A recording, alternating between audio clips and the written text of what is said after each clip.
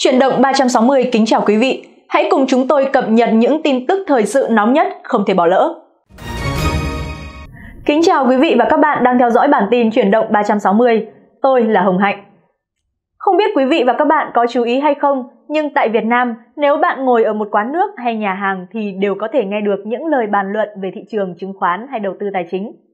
Trong thời kỳ dịch bệnh nhiều hoạt động kinh tế bị thu hẹp nhưng cũng có những ngành nghề lại nở rộ. Với sự bùng nổ của mạng xã hội thì xu hướng tìm tới các nền tảng này để tìm kiếm lời khuyên tài chính đang khá phổ biến.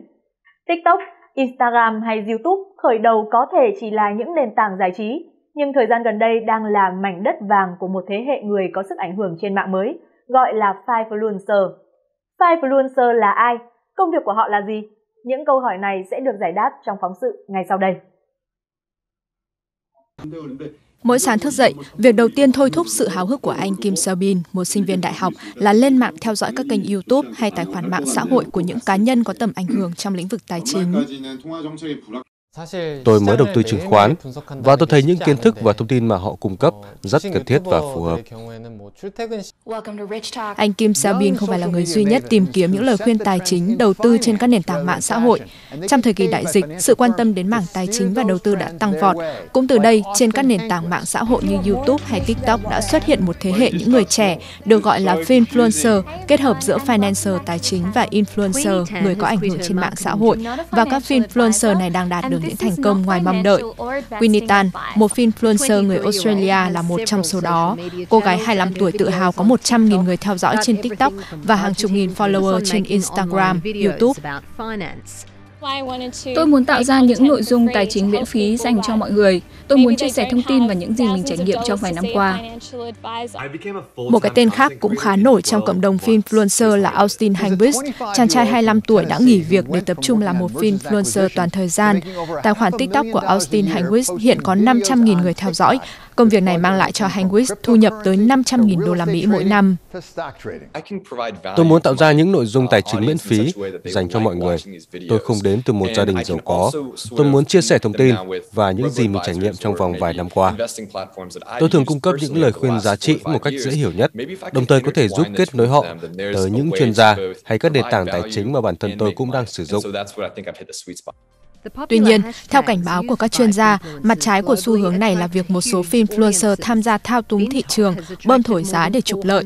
Ngoài ra, độ tin cậy của các video tư vấn tài chính trên mạng xã hội cũng là vấn đề cần lưu tâm khi mà nhiều influencer không có bằng cấp, kinh nghiệm hay chứng chỉ hành nghề. Điều quan trọng là khi thấy bất kỳ thông tin nào trên mạng xã hội, bạn phải kiểm tra độ tin cậy của chúng. Đối với lời khuyên tài chính, bạn phải tìm hiểu xem người đó có được cấp phép để chia sẻ thông tin hay không. Việc tham gia đầu tư nhưng chưa thực sự có kiến thức cơ bản về thị trường sẽ dễ dẫn đến việc phụ thuộc vào tư vấn và các kênh thông tin bên ngoài. Dù vậy, không thể phủ nhận, với sự bùng nổ của mạng xã hội cũng như nhu cầu đầu tư trong giai đoạn hiện nay, influencer sẽ vẫn là một nghề hot với lượng người theo dõi đông đảo và có sức ảnh hưởng ngày một lớn hơn. Thưa quý vị, hôm nay là ngày lễ độc thân và cũng là ngày hội mua sắm trực tuyến lớn nhất trong năm. Các nhãn hàng, sàn thương mại điện tử, trung tâm thương mại, cửa hàng đồng loạt triển khai nhiều hoạt động quảng bá siêu sale với cơ hội giảm đến 90% để người mua sắm lựa chọn trước sản phẩm, sẵn sàng nhấn nút thanh toán trong ngày 11 tháng 11. Năm ngoái, các sàn thương mại điện tử lớn cho biết đã thu hút được lượng truy cập lớn về ứng dụng của mình. Năm nay, các nhà bán hàng cũng kỳ vọng sẽ có sự tăng trưởng đột biến trong ngày siêu sale.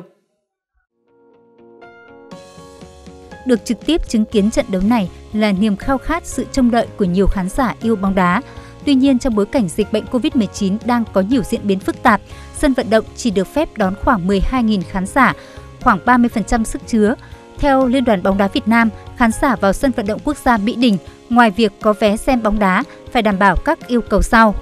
Mang theo giấy tờ tùy thân, tiêm đủ 2 mũi vaccine phòng COVID-19, mũi thứ hai phải tiêm cách ngày đi xem bóng đá 14 ngày hoặc đã khỏi bệnh COVID-19 trong vòng 6 tháng có kết quả xét nghiệm âm tính với SARS-CoV-2 trong vòng 72 giờ. Cài đặt các ứng dụng VNeID, PC COVID để khai báo y tế và quét mã QR địa điểm. Cần có mặt tại sân vận động 2 giờ trước thời điểm bóng lăn để làm các thủ tục liên quan đến việc kiểm tra an ninh và khai báo y tế. Cơ quan Cảnh sát điều tra Công an tỉnh Yên Bái đã ra quyết định khởi tố bị can và bắt bị can để tạm giam đối với ông Trần Quang Trung, sinh năm 1962, Giám đốc Trung tâm Dịch vụ Bán đấu giá Tài sản tỉnh Yên Bái do có hành vi cố ý làm lộ bí mật công tác theo quy định tại Điều 361 Bộ Luật Hình sự, thời gian tạm giam là 3 tháng.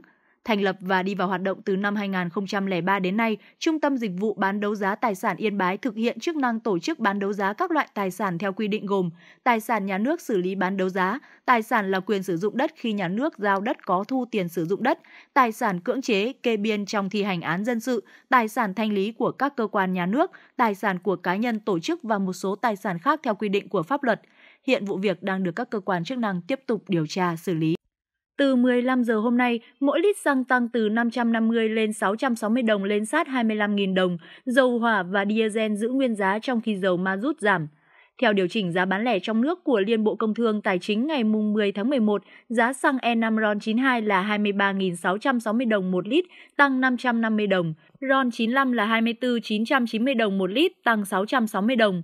Với đợt tăng lần này, giá xăng trong nước đã có đợt tăng thứ 5 liên tiếp từ đầu tháng 9 đến nay. Mỗi lít xăng RON95 đã đắt thêm gần 3.900 đồng so với cách đây 2 tháng, còn E5 RON92 thêm gần 3.800 đồng. Ngày 10 tháng 11, thông tin từ Trung tâm Chỉ huy Phòng chống dịch COVID-19 tỉnh Lai Châu cho biết, địa phương vừa ghi nhận thêm 2 ca dương tính với SARS-CoV-2 trong cộng đồng là học sinh tại ổ dịch xã Bản Giang, huyện Tam Đường. Cụ thể, bệnh nhân CTQ sinh năm 2007 là học sinh lớp 9A1 trường Trung học cơ sở Bản Giang và bệnh nhân CTT sinh năm 2013, học sinh lớp 3 trường tiểu học Bản Nà Cơ thuộc xã Bản Giang, huyện Tam Đường, tỉnh Lai Châu. Hai bệnh nhân này trong quá trình học tại trường có tiếp xúc với nhiều bạn học.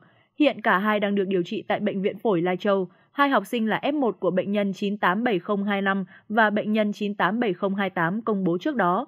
Đến 7 giờ ngày 10 tháng 11 đã phát hiện 66 F1, 139 F2 liên quan đến hai bệnh nhân trên.